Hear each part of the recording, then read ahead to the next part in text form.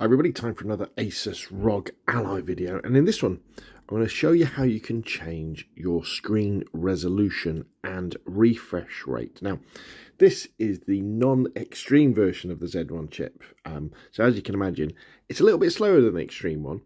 So you'll if you've got one of these you may well want to run it at 720p or it could be that you're running particularly demanding games especially in handheld mode when you're only at 15 watts TDP, and you want to try it at 720p. And I would highly recommend running at 720p um, as a method for making runs game making games run better. It's easy for me to say because it, the, the, screen is absolutely amazing with variable refresh rate. So there's, a, as you'd probably guess, there's a couple of ways of doing this. So what you could do is just make sure we're in um, control mode. We could go and click in that little button down there. I don't know what it's called in Windows 11, but you click on that and you go to settings just there and you can go to display and then you can scroll down and you have advanced display there. And it tells you what you've got at the moment. So mine's at the moment is set for, for 720 at 60 hertz.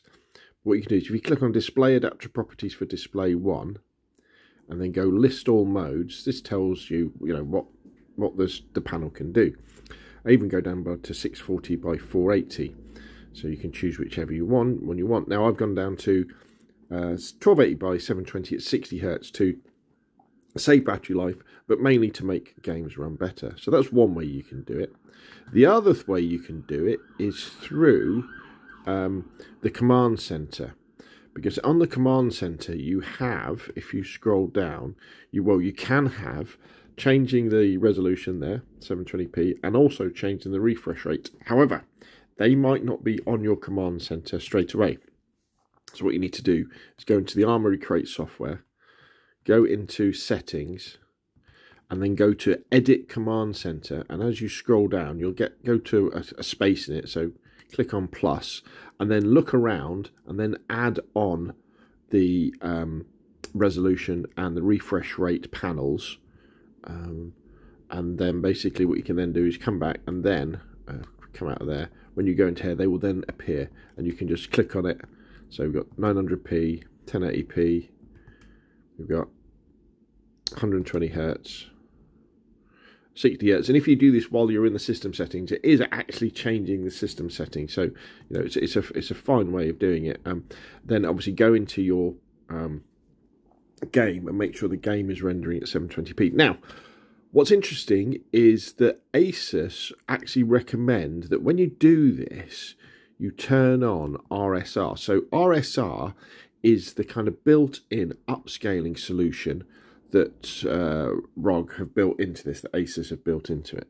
Um, I've done a little bit of testing, however, and in my opinion, I was testing with Cyberpunk, you're better off going to 720p going to say 60 hertz and not having uh, uh AMD RSR on, or and and it, and within the game as well, don't have any FSR or, or anything like that on. RSR basically is FSR one, and the reason for this, especially when you're in handheld mode, is because well, I think anyway, is that using RSR or FSR or any of the upscaling algorithms is they they're using the processors to, to do the upscaling. Um, and you actually do lose some performance. Now, this will probably vary incredibly by game because it depends on whether the game is is more dependent on the um, the CPU side of the APU or the GPU side of the the APU. So results will vary, but I think you're better off having this at 720p having the game run at, uh, render at 720p native, and then seeing what happens. Because what is definitely true about this panel that they have on the um, ROG Ally is that because it's variable refresh rate, even low frame rates, you know, down to 20 frames a second, look much, much smoother than they would on something like a, a Steam Deck, which is, uh, well, I think it's absolutely magical. Now, what is interesting, and if you get a solution to this, please let me know in the comments down below is that when you go into the settings and when you go into the display um, and you go into advanced display, um, the active signal mode can't be changed.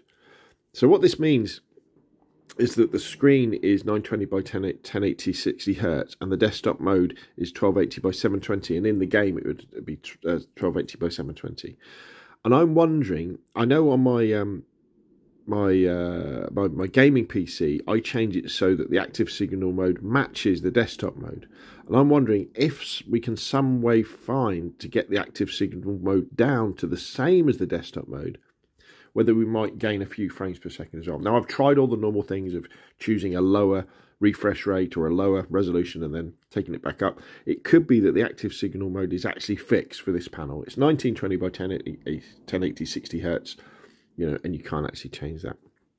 But as I said, I would highly recommend if you want to run a challenging game and you want more frames, um, and also you've got the non-extreme version of the ROG Ally that going down to 720p games still look absolutely well amazing and uh, I've been very impressed indeed.